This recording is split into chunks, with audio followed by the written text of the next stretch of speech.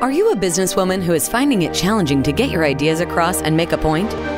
Welcome to Speakers Who Get Results with Elizabeth Bachman, a podcast dedicated to helping women get the visibility they want, whether making a speech or talking in a meeting. Every week, get valuable lessons from Elizabeth or learn from her roundtable conversations with experts and speakers on how to make a difference, not just a point. On to the show with your host, Elizabeth Bachman. Hello, and welcome to Speakers Who Get Results. I'm Elizabeth Bachman, your host, and this is the podcast where we interview experts from around the world on subjects such as leadership, visibility, presentation skills, diversity, and communication challenges. Now, before I move into the introduction for my fascinating guest today, I'd like to remind you that if you are curious about how your presentation skills are working and are they working to get you the results that you want, you could take our free four minute quiz at speakforresultsquiz.com. That's www.speakforresultsquiz.com. And that's where you can see where your presentation skills are strong and where perhaps a little support could get you better results and the recognition you deserve. My guest today is Sharon Wamble-King. And it's interesting because we just we threw this conversation together at the last minute. She's going to be interviewing me and I thought wow, she's so interesting. Our, our preliminary conversation, I said, wait a minute, I have to interview you. She is a um, because Sharon, let me read the official introduction, and then you can see where our conversation took us. Sharon Wamble-King creates inclusive space for people who to soar to the zenith of their potential through communication and change leadership. She's a na- native of Berkeley, California, with several decades' experience in corporate consulting and nonprofit settings. She purposely stimulates aha moments and relishes interpersonal reactions that can uncover nuanced layers of situations to promote personal and organizational transformations. As the president of the WambleKing Group, Sharon has brought her keen insights and knowledge about organizational effectiveness and cultural transformation to establish organizations as thought leaders and industry leaders to develop and implement large scale change management strategies, and to execute internal, external, and multicultural communication solutions related to mergers, acquisitions, and divestitures. She's a certified change management co- leader, an experienced teacher, speaker, and coach. She served in executive leadership roles at several management consulting firms, healthcare insurance companies, health plans, provider delivery systems, and medical groups. Sharon is, uh, her focus on the leadership and governments has also led her to serving as the vice chair of the Board of Trustees for the University of North Florida, board trustee for Florida Memorial University, and the trustee for Foundation Board of Florida State University. Sharon is passionate about equity and inclusion and is augmenting her professional experience by pursuing a doctorate in the Leadership and Change program at Antioch University.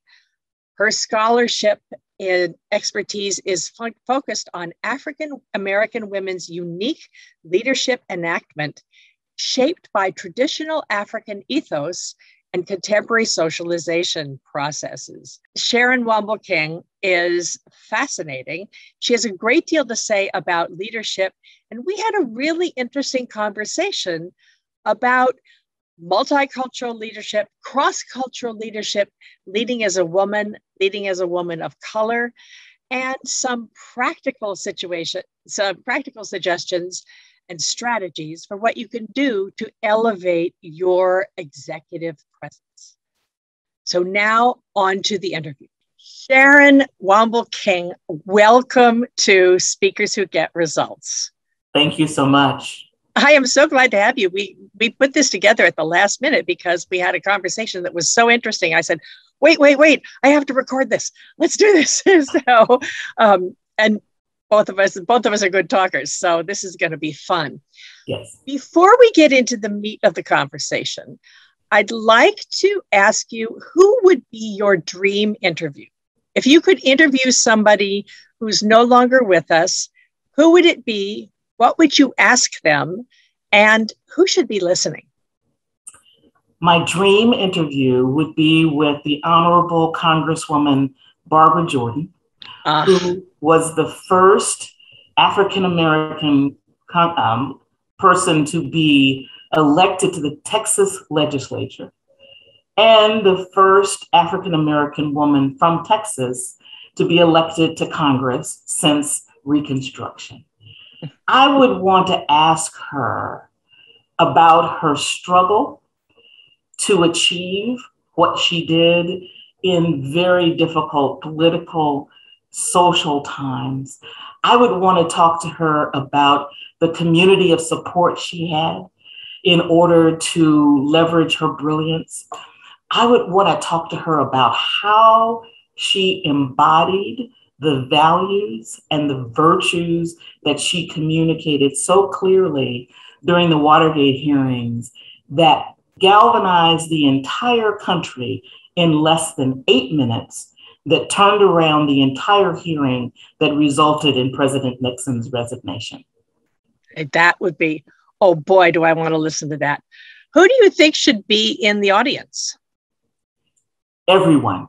Everyone That's what I was going to say. Everybody, yeah everyone, everyone who has a zeal for social justice, mm-hmm. who understands the destructive force of a polarized environment, which is what she lived in. Mm-hmm. Um, the destructive force of a polarized environment and how to speak truth to power in such a way that it can be heard and acted upon, not only from the cognitive sense, but from the heart. I love it. I love it. Boy, I would totally be in that audience. We definitely want to hear that. Uh, and I think we're going to have to put a link to a Barbara Jordan webpage in the show notes for this.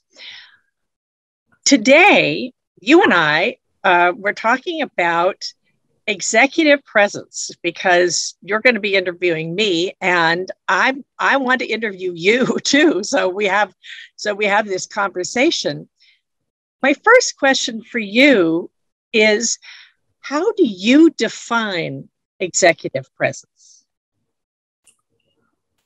Executive presence is the ability to enact influence in an environment where decisions are being made and you are being experienced as providing value, as providing the type of input that everyone in the room needs in order to move forward in a positive way. Executive presence for me is the ability to shift the energy in a room in such a way that people will be galvanized to move in the direction that is the most powerful and aligned to the mission at hand. Uh, that is a marvelous definition, definitely. And we all know, you and I particularly know, that executive presence also uh, reflects a cultural expectation. You see somebody walk in as a, a silver haired white man in a really good suit, and you're going to assume that he's got executive presence. It's different for women, and it's different for minoritized women. Can you talk a little bit about how how is how can executive presence be defined or experienced for minoritized women who are not part of the dominant culture. And yes, it, it, since we're having a conversation, I think that we yeah. also need to define for people what minoritized women are.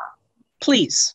Yes. So, in my parlance, I believe minoritized women are those that don't represent the dominant culture of a particular organization, mm-hmm. those that don't represent the dominant culture within that setting. Mm-hmm. So, within the setting, you could have a board of directors that is very different than the composition of the company. So, minoritized women are those that don't represent the dominant of the room that you're in.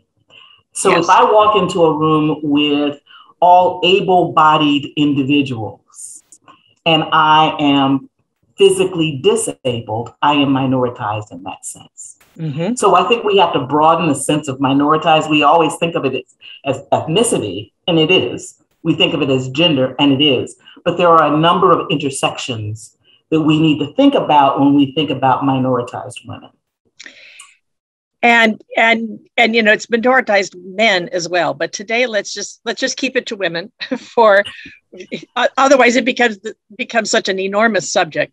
Right.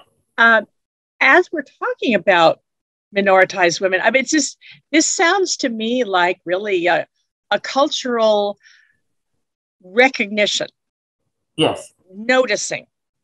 Yes. Uh, and noticing how someone might feel like the minority when um, as opposed to those who just assume that they there, there's a whole bunch of assumptions that the majority will be operating from. Exactly. That um, that the minority is not part of. Right. How the definition of uh, executive presence is influenced by culture. Yes. So when as i will just use myself as a, an example for a moment um, as someone who identifies as an African American woman, educated, and American in that respect, socialized in the United States. I walk into a room, if I walk into a room where everyone visibly is Caucasian American, understanding that everyone there is diverse, they all have different um, intersections as well. But if I walk in and I look at everyone there, my immediate question as they look at me is Am I being perceived through stereotypes? Am I being perceived through misperceptions? How are people experiencing me even before I open my mouth? Which everybody will anyway you know, we all do have bias. So we all have implicit will. bias. Exactly. Yes. But I don't, I can't assume what those biases are. I have to walk in with the flexibility and the ability to think through that room very quickly in a bicultural way. That's the way that minoritized women have been socialized. We think within the dominant culture, the expectation may be ABC. I may not as uh, naturally exhibit those behaviors. So how must I adjust? So here's a here's an example that I learned early in my in my career. I tend to think in a circular manner. I tend to process in a circular manner. That is because of the way I was socialized and the communication style within my community. Within the dominant culture, we tend to process in a linear form. Mm-hmm. It's one plus two plus three plus four. It's extremely linear, very rational, objective, and scientific. I have to know that when I walk in because my presence can be diminished by my speaking in a way that cannot be heard, not because I'm not speaking standard English, but the way I'm processing information. So I need to understand when I walk into the room as a minoritized woman what the expectations of the dominant coalition what are those expectations? And then how might it impact me because of misperceptions of she's there because she's a token. She's there because of a affirmative action. She's here because of our diversity initiative, but she's not really here because we expect her to add the same value. Now, that may not be the expectation, but I have to think through all of those things. So, with that in mind, um, let me just go back to linear and circular for a minute, because that is a huge part of the work that I do. Great deal of what I do is uh, I think of it as single focused versus multi focused. And if you are a multi focused person and you can notice lots of things and you sort of think circularly, as you were saying, then the advantage you bring to a team is that you're going to notice things that the single focused people aren't going to notice the single focus people, Western business is built on single focus people uh, who can actually get things done in a hurry. They may not notice the the side issues, such as uh, so I had a client who, who said, I sat in that room and I said, does anybody ever ask the client if they want this before we're investing hundreds and thousands of dollars to create this new feature? Does anybody actually ask the client? And oh, no, they hadn't. They just had gotten all excited about about this cool idea, and they were totally focused on uh, on getting it done. When you are walking in as a minoritized woman. How much, I'm curious, how much do you think you need to adapt your style to the way they are ready to hear you? And how much can you influence the other people in the room so that they can stretch their thinking, if you will? Yes. So I think there's two answers to your question. It's a fascinating question. So the way you heard my answer was a focus, singular versus multiple. Mm-hmm. The way I was thinking about it was I am trained in my community milieu to tell stories.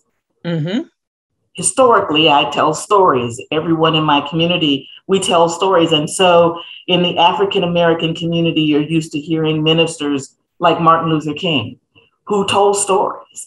Um, he may have been singularly focused, but his communication style was circular.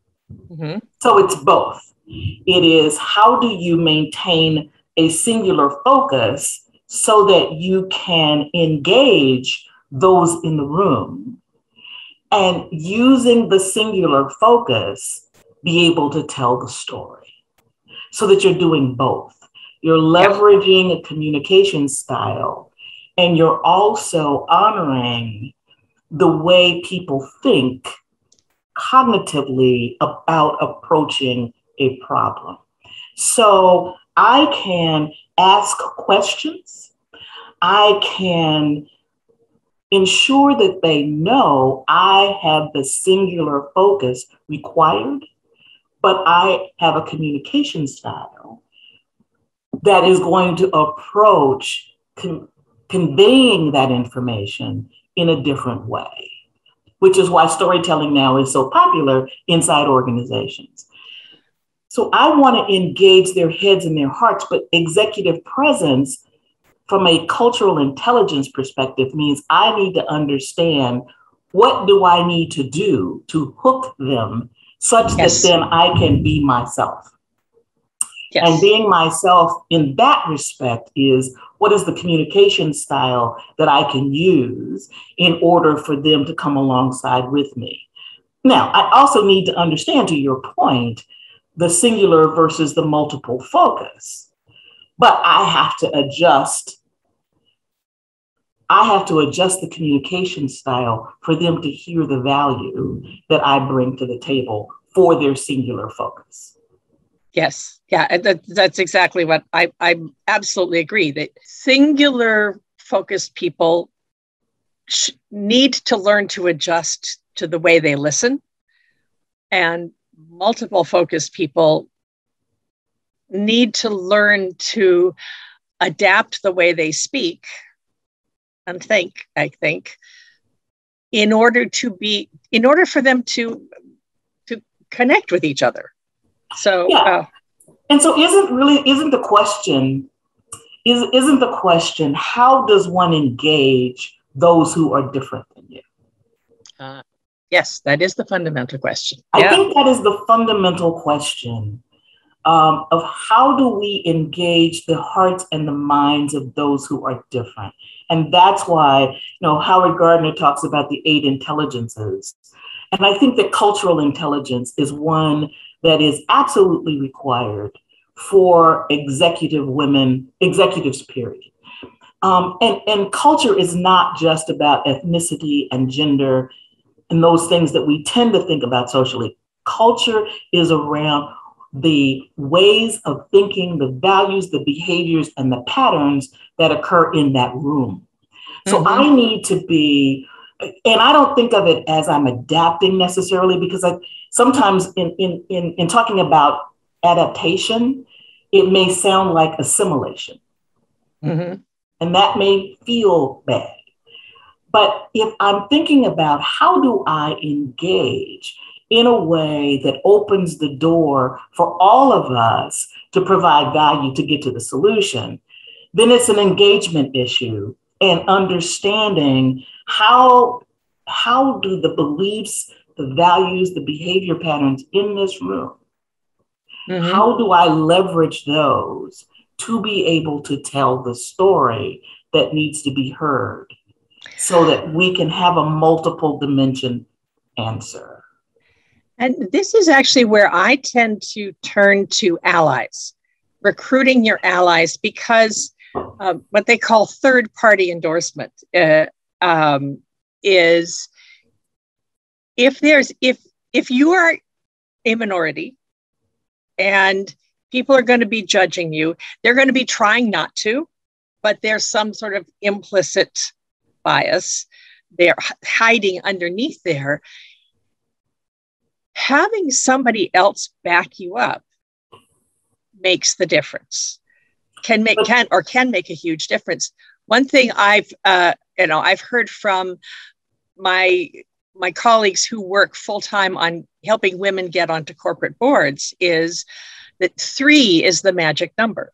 If you have three women then then it's not just only one it's not just those two over there. But if you get three, you're suddenly more a part of the group. Uh, and you can back each other up as well as bringing in your own uh, your own relationships your own value so that you're not so much of an exception and i think that is true of particular populations okay because you may not be able to get an ally within the company. Okay. Um, and I remember very early in my career, um, a senior vice president pulling us all together uh, in an inclusion kind of a conversation, saying, allies are really important, and many times your allies are not going to be in the company. Mm-hmm. Your allies and your mentors may be executives who work in other companies where you can feel emotionally safe and vulnerable mm. to be able to have that ally conversation.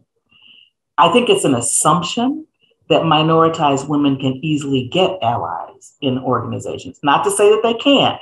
And that's why I'm just saying it's the flexibility of if you can't get an ally inside where you feel safe and you can be vulnerable for that allyship to occur because some cultures, again, we go back to culture, some cultures are not um, context within the growth mindset where people are not competitive. mm, ah, yes. Okay. Yes. Gotcha. Right.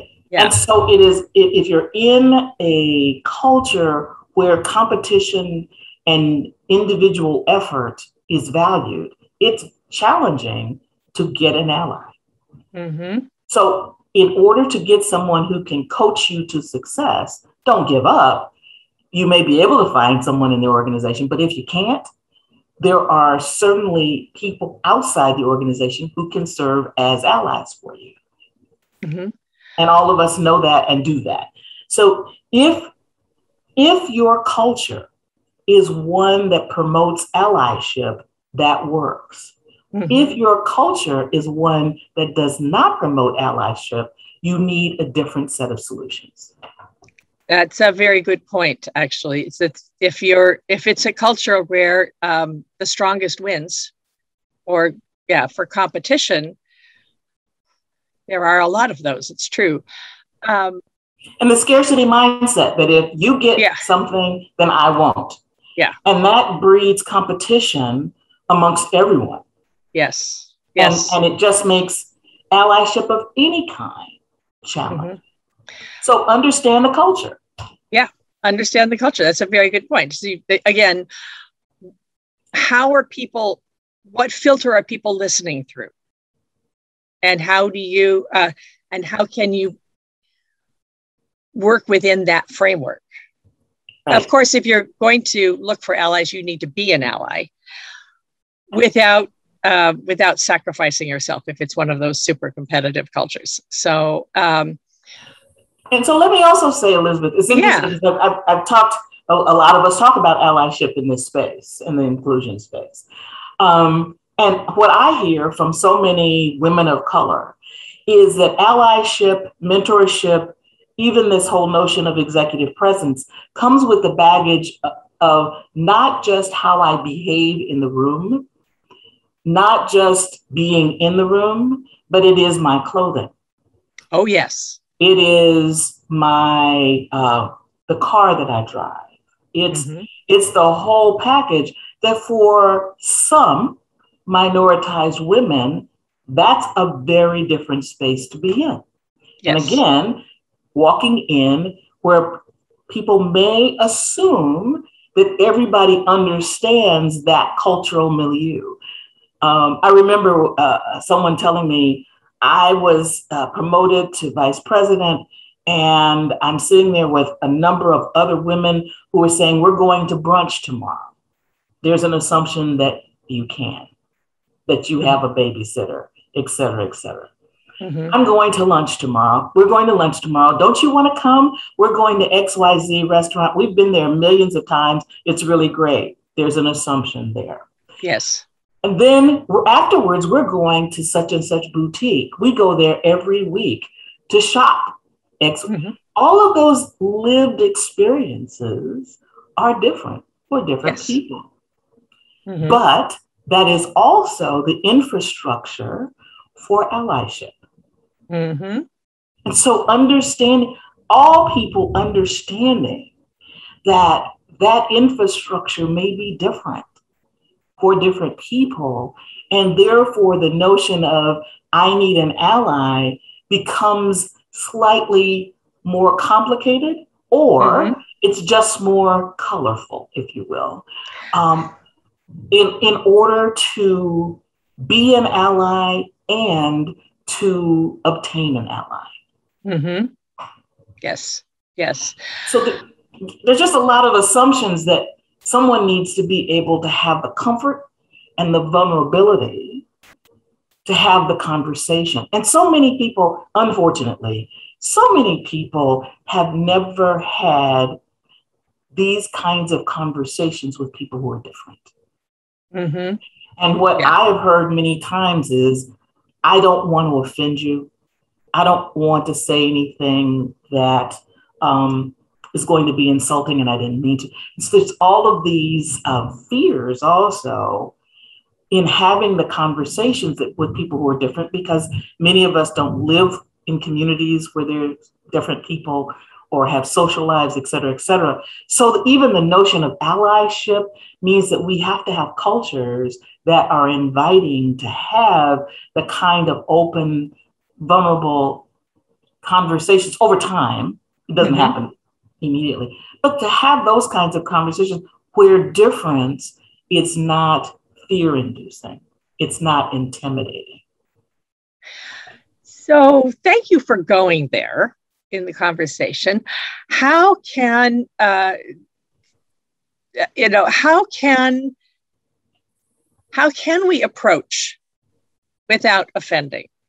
How can we open a channel of communication and say, I really do want to know? Uh, and um, I recognize I'm part of the dom- dominant culture, so I don't know how to do it without offense. How, how does one approach that? Well, I have a lot of friends who are different than I am. Mm-hmm. And I try to be open around that. And so I, many times, have made that invitation. Want to go to lunch? Let's just talk. Mm-hmm. And, and, and we aren't talking about our differences, we're talking about life. Mm-hmm. And as things come up, I'm comfortable talking about, well, you know, that's a little bit different than what I've seen before. Can you explain that? And just mm-hmm. having a, a great conversation around life. And that over time, I think people get more comfortable. And and of course you avoid the the um, tough conversations initially, needless to say. Mm-hmm. But I always say to people, look, we're getting to know each other. I may say something that's offensive to you. I apologize up front. That's not yeah. my intent. You may say something that I don't agree with. Can we now have some ground rules for our conversation? Mm-hmm where if I say something that is disagreeable, you can tell me. Yeah. If I say something that is questionable, you can ask me. Mm-hmm. Can I, do I have permission with you to do the same thing? And That's, can we walk down this road together, understanding that the onus is not on you and the onus is not on me, it's on both of us? Mm-hmm. How do we have this conversation such that we can feel safe because that's what we're trying to build. And I've had this conversation many times where the safety issue has to come up soon. I want you to feel safe with me. And if you say something that is biased or offensive, I need to have permission to say that to you. And then we can agree to disagree mm-hmm. or we can agree to have other solutions at the end of this. Mm-hmm. But there has to be a mutual agreement around emotional safety to have those kinds of conversations. That's that's great. So let's apply this to executive presence and sure. wind this up with uh, being different, knowing that you're different. How can you elevate your executive presence in a culturally aware, culturally conscious fashion? Um, that's a good question. Can you? Yeah. Sure, you can. Okay.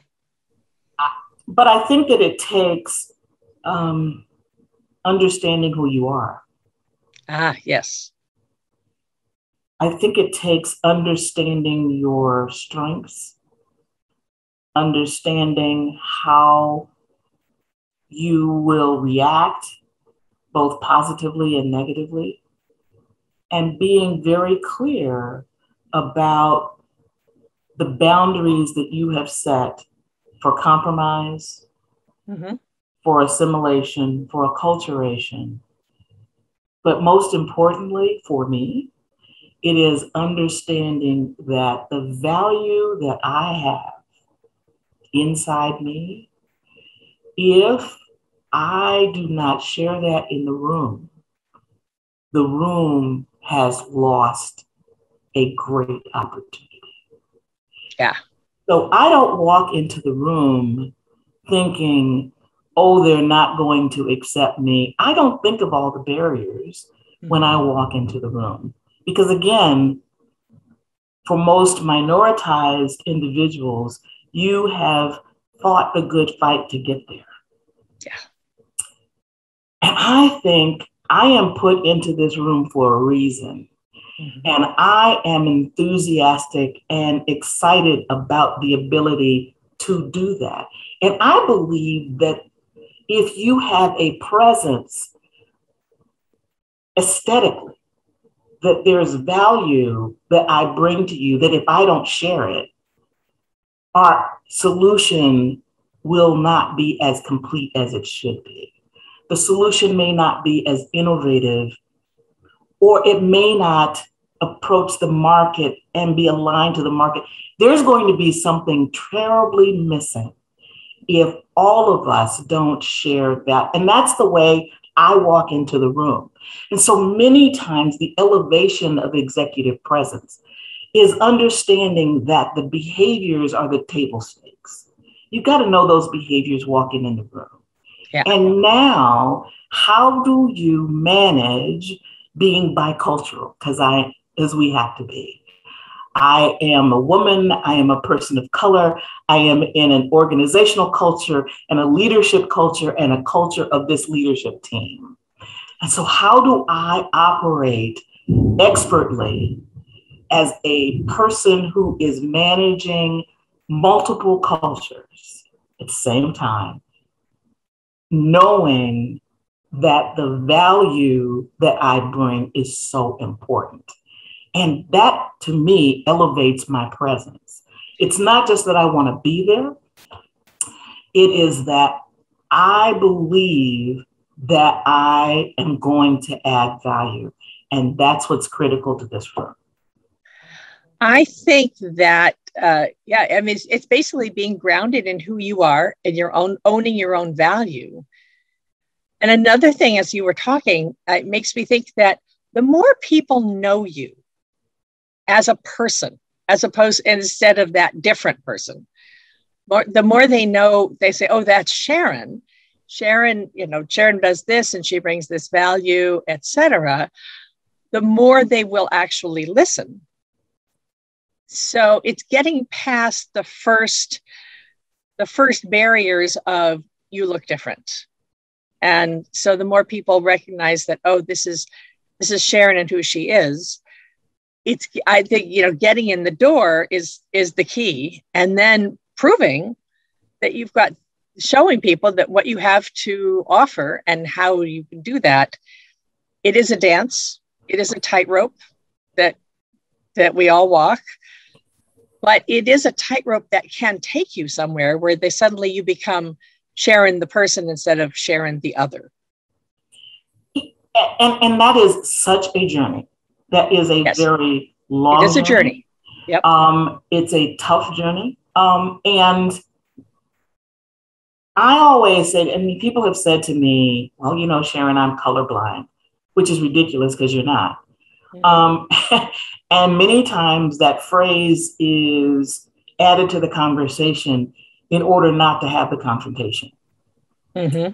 And so, what I say to them always is if I looked at a garden and all of the the yellow daisy said, I'm a daisy, but you know, don't pay attention to this color because you know, I'm just a daisy. That wouldn't make any sense. The reason the garden is so beautiful is because the yellow daisy is there. So I want them to pay attention to Sharon, but Sharon brings a set of lived experiences and lived perceptions that may be different. And that's okay. The men in the room have those too. Together, you know, I always use the metaphor together, it's like a pizza. If the pepperoni isn't there, it doesn't taste as good. Yeah, yeah, right. Exactly. Exactly. But no one says, oh, please don't recognize that pepperoni because, you know, no one says that. And mm-hmm. so, so I want them, yes, to accept me for me, but I want them to accept all of me. And the difference doesn't have to be part of the conversation. It is, some people, for example, are really good with math. I'm not.